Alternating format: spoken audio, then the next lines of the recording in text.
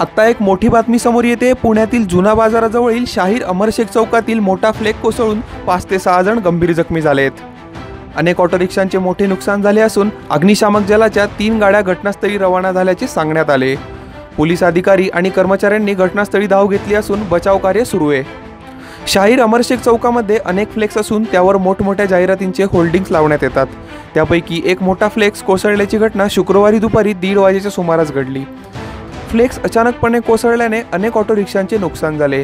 Flake कोसळून पाच ते सहा जण गंभीर देखील झाले. गंभीर जखमी झालेल्यांना तत्काळ रुग्णालयात पाठवण्यात आल्याची माहिती अग्निशामक दलाकडून मिळते. दरम्यान वरिष्ठ पोलीस अधिकाऱ्यांसह पोलिसांनी घटनास्थळी धाव घेतली आहे. काही ऑटो रिक्षांचा चक्काचूर झालेला आहे असे उपलब्ध झालेल्या फोटोंमध्ये दिसते.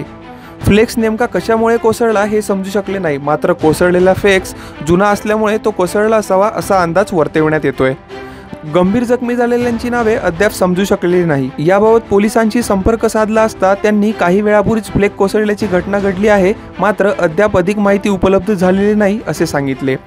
दरम्यान फ्लेक्स कोसळल्यामुळे शाहीर अमरशेख चौकातील वाहतूक खोळंबली आहे.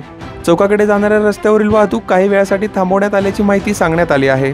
वाहतूक शाखेच्या पोलिसांनी देखील घटनास्थळी धाव घेतली असून चौकाला जोडणाऱ्या काही रस्त्यांवरील वाहतूक वळवली आहे.